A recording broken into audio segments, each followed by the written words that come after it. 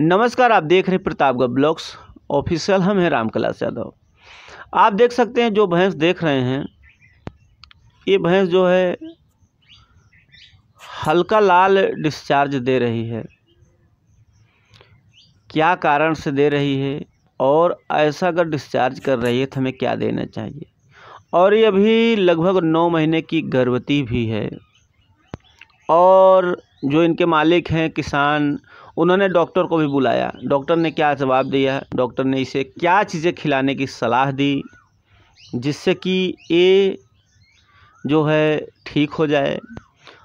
ऐसा अगर डिस्चार्ज कर रही तो क्या दिक्कत समस्या हो सकता है? सारी चीज़ें आपको इस वीडियो में बताऊँगा। वीडियो को लाइक ज़रूर करें और चैनल को सब्सक्राइब करें। तो सबसे पहले किसान भाइयों, हम बात करना चाहूँगा, अगर इस तरह के आपकी पशु डिस्चार्ज कर रही है तो उसके दो कारण हो सकते हैं। पहला कारण वो हो सकता है कि आपके पशु के बच्चेदानी में इन्फेक्शन हो, तब जो है लाल, पीला, नीला ऐसा डिस्चार्ज कर सकती है। लेकिन इस भैंस के बच्चेदानी इन्फेक्शन भी नहीं है, ये गर्भवती है। तब ये क्या कारण हो सकता है? तो इस पर जब हम किसानों, किसान हमारे पास कई बार जो है मैसेज दिए, इसको वीडियो भेजे और हमसे जो है बात भी किए हमारे पास कॉल भी किया तो हमने उन्हें जानकारी ली। तो सबसे पहले हमने यही पूछा कि इससे क्या हुआ है?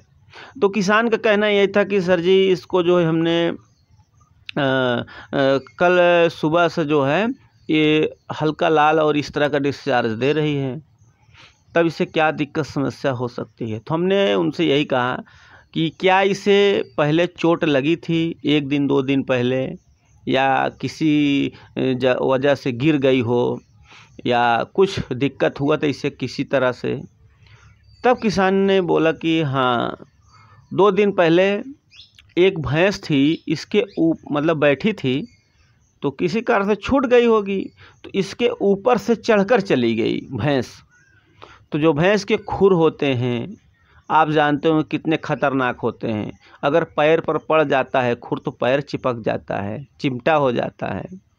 तो उसका जो है कि ऊपर उसके खुर पड़ गया, भैंस के पेट पे। जब भैंस के पेट में खुर पड़ गया है, तब क्या है कि इसके जो है दिक्कत हो गया, जो बच्चा अंदर रहता है।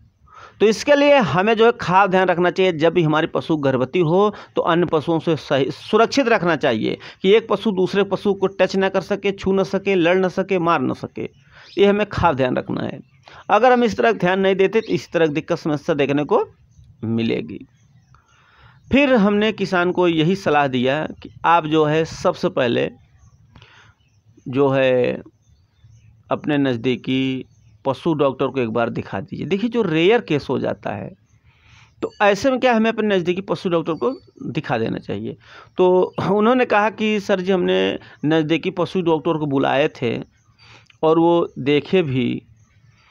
और उनका यही कहना था कि इस भैंस का जो है, बच्चेदानी का मुँह अब खुल गया है।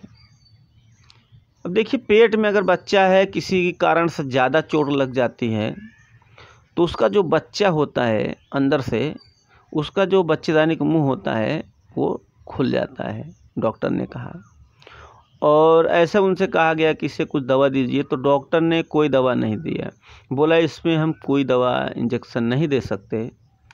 अब ये बच्चा फेंक ही देगी। मतलब बच्चा फेंक देगी। तो देखिए जब खून टाइप आने लगा है ना तो इससे एक अनुमान लग जाता है कि इसका जो है, बच्चेदानी मुँह खुल गया है। लेकिन, एक सलाह दिया डॉक्टर ने कि इसे जो है आप घी पिला दीजिए। तो इस गाय को उन्होंने लगभग डेढ़ सौ से लेकर दो सौ ग्राम घी मतलब शारीरिक क्षमता के अनुसार घी दिया जाता है। डेढ़ सौ ग्राम से लेकर 200 ग्राम घी दिए हैं और डेढ़ सौ से लेकर 200 ग्राम घी दे दिए हैं।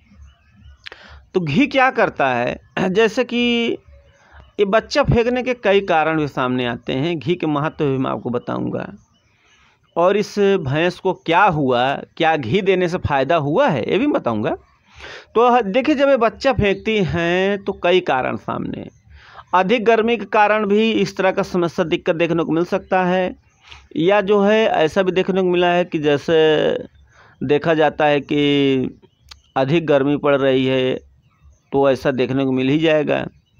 और उसके बाद ये भी देखने को मिला है कि जैसे आपकी पशु कोई गर्म चीज़ खा लिया है तो भी ऐसा हो सकता है। जैसे कोई चराई पर हमारी पशु जा रही है और गर्म घास है और खा रही है, खा लिया।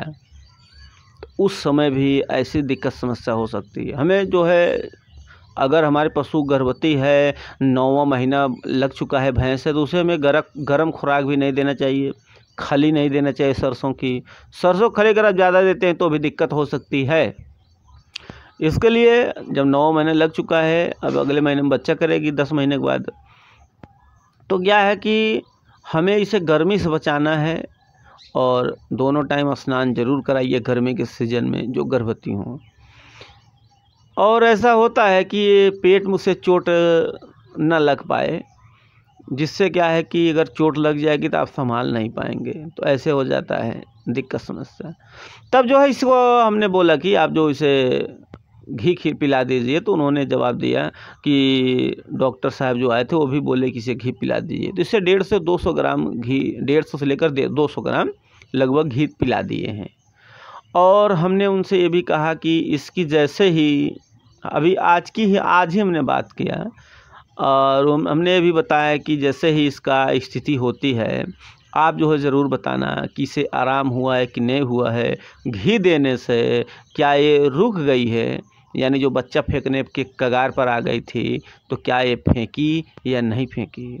लेकिन होता है क्या किसान भाइयों, जैसे कि अगर खून आ जाता है, तब थोड़े चांस कम हो जाते हैं कि बच्चा सेफ़ रहे। देखिए, देसी उपाय है, घी, तासीर काफ़ी ठंडा है। हो सकता है कि बच्चा सही सलामत रुक जाए। लेकिन इसका जो है वीडियो हम जल्द ही बनाऊँगा। जब भी उसका वीडियो आएगा, इतना बात ज़रूर ध्यान रखना। हम जो है इस वीडियो के लास्ट में लगाऊँगा ज़रूर। और उस वीडियो को भी आपको देखने को मिलेगा, इस वीडियो को लास्ट में लगाऊँगा। अगर वो वीडियो बनाऊँगा ज़रूर जो है पार्ट हम बनाऊँगा। आप भी कमेंट कर सकते हैं कि उस भैंस को क्या हुआ, इस भैंस को बच्चा फेंक दिया या नहीं फेंका, इसकी आपको अपडेट हम ज़रूर देंगे। तो इस पर आपकी क्या प्रतिक्रिया है नीचे कमेंट ज़रूर करें, इसे लाइक करें, शेयर करें और फॉलो करें। तो धन्यवाद।